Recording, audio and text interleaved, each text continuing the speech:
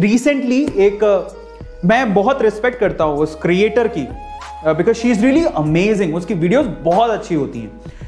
Recently वो भी ऐसी सिचुएशन में फंस गई थी। अगर आपको पता हो तो मैं नाम नहीं बोलने वाला हूँ, लेकिन आपको पता है। And she is really amazing अभी भी वो इंस्टाग्राम पे और यूट्यूब पे बहुत लोग उसे जानते हो, बहुत फ़ेमस है वो, ठीक है? और उसके बहुत सारे फॉलोवर्स हैं।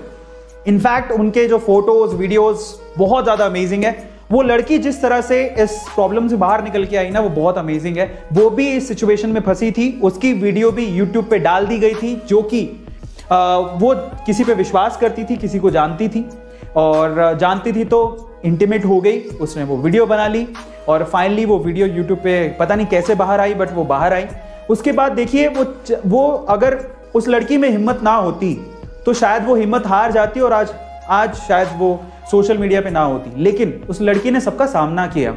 इनफैक्ट मैंने ये भी देखा था कि उस लड़की ने बेसिकली एक एक लाइव सेशन लिया और अपनी अपनी मन की बात बताई। उसके साथ जो हुआ, उसने क्लियरली बताया। बहुत अच्छी बात है और आज वो लड़की एक ब्रांड है ओके उसने सारी चीज़ें फेस की। मैं आप लोगों से क्या कहना चाहता हूँ? क्या उस लड़की की जो वीडियो जिसने भी डाली, वो तब उसके सामने कोई औकात भी नहीं रखता है। ठीक है, उस वीडियो को या उस बात को लोग कितने दिन तक याद रखे? तीन या चार दिन? और आज वो बहुत बड़ा ब्रांड बन चुकी है, उसको लोग बहुत लंबे टाइम तक याद रखेंगे।